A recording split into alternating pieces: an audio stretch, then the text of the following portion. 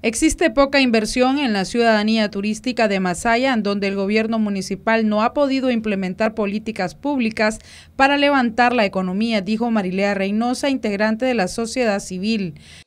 Existe una incertidumbre económica, no hay movimiento fluido desde el, desde el 2018, el comercio y el turismo han bajado aún en este tiempo del 2020 aunque existe un comercio, pero ese comercio es local y es muy bajo. Hay una alta tasa de desempleo a nivel territorial. Existe también cierre de empresas o, microempresas locales y la falta de una inversión local para alimentar la economía del territorio de Masaya. Reynosa dijo que en Masaya existe una incertidumbre ante el aumento del COVID-19, por lo que hizo un llamado a la población a mantener la guardia ante la pandemia.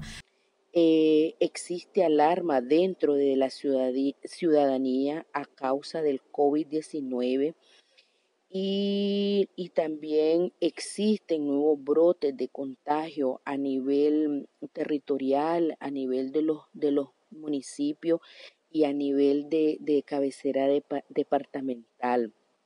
Nosotros como sociedad civil territorial, eh, pues nosotros siempre estamos haciendo un llamado a las autoridades competentes a que se respete el derecho eh, humano de todos los ciudadanos sin, sin ninguna distinción alguna, pues.